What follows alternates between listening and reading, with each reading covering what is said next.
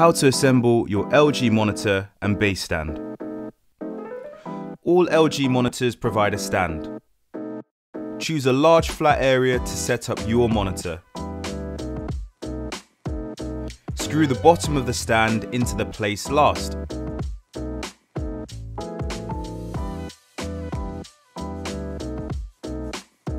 Click the stand to the monitor, ensuring it has clicked firmly into place. When you have placed your monitor where you're happy, you are ready to connect your monitor to your PC for use.